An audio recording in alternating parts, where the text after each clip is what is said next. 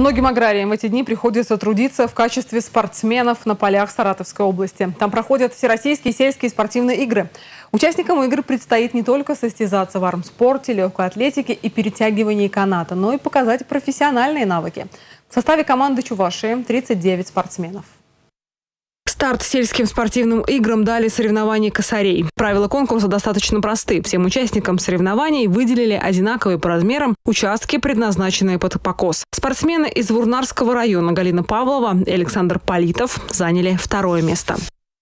По итогам трех дней выступления мы среди 69 субъектов Российской Федерации занимали пятое место. Надеемся, что по итогам всех игр республика зайдет в первую шестерку сильнейших регионов России.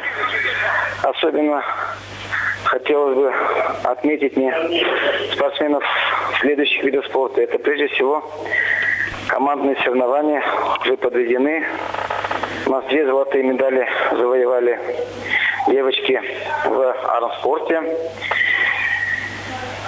И общекомандный зачет заняли также второе место. Это очень хороший результат. У нас в выездных сельских играх такого командного результата тоже не было. Очень успешно выступила семья Калитовых из Сибиреченского района. Они заняли второе тоже место по итогам двух дней соревнований по четырем видам спорта. Очень успешно выступает у нас для нас в новом виде спорта это масс-рейслинг. Две девчонки завоевали серебряные медали.